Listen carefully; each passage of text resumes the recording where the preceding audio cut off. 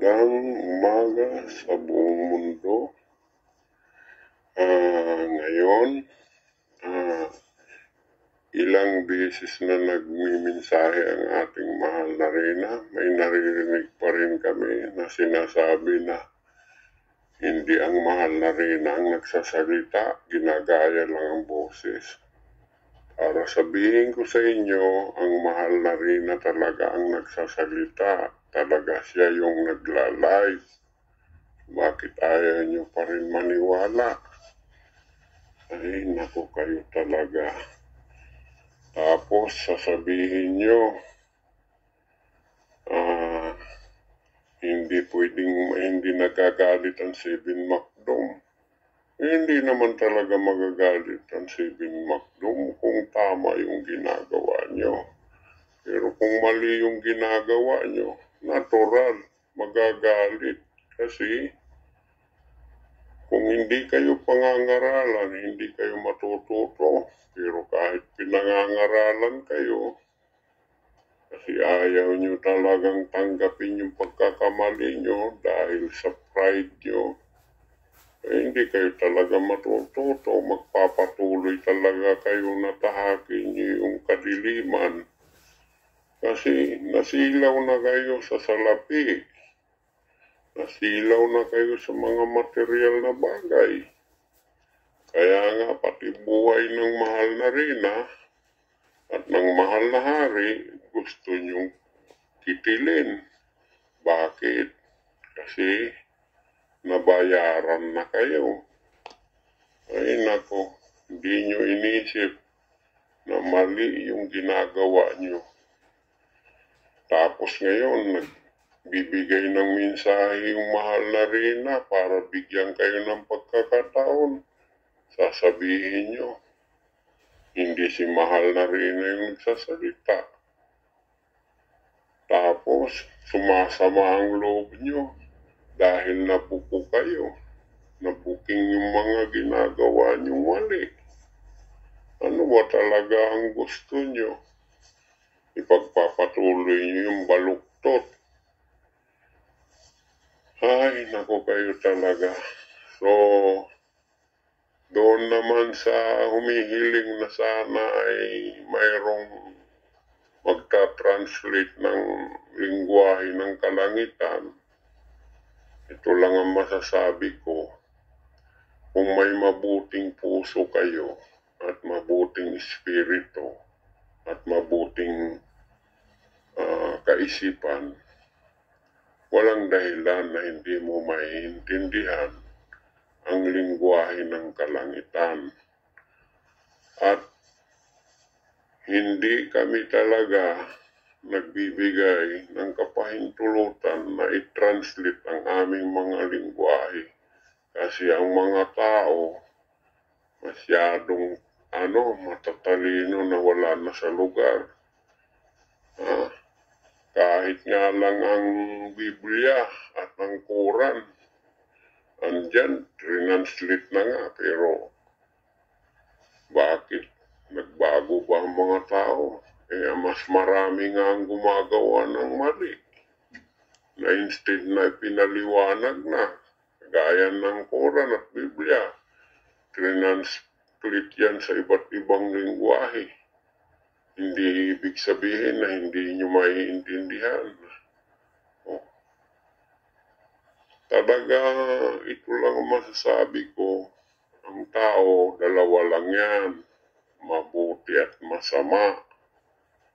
Oh, lang. Pero sabihin ngayon na nagsasalita kami sa mga sikretong lingwahe namin para i-translate hindi po namin yan pinapahintulutan kasi ang sikreto, mananatiling sikreto yan.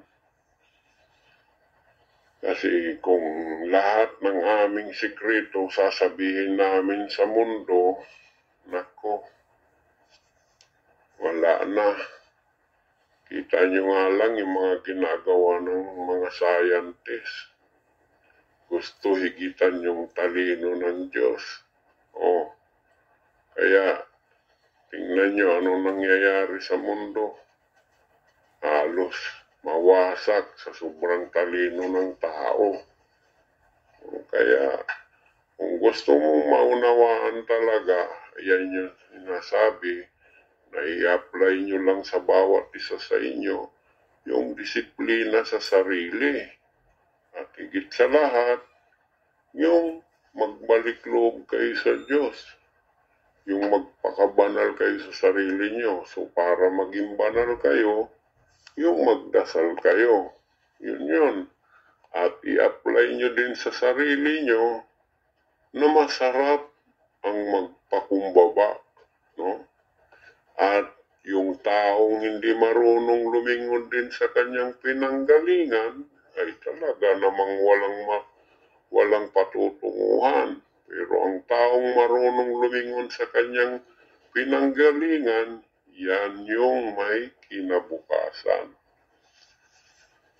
Laksamana lakarakosita dire sito barakasito blogre kasimbore να βαφούρισα αχ θα τα μισήλα καραβολασίτα εις προσάρα μισήλα καραβολασί καραβολασίτα μικρό εισήλι μικρό εισήλι καραβολασί καραβολασίτα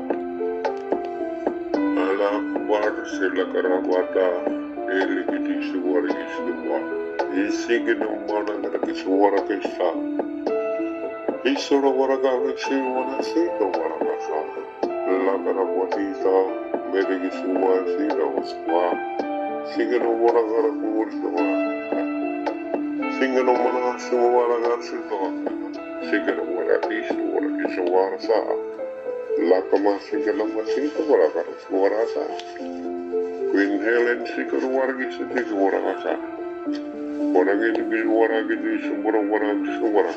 Bang warang ya sih.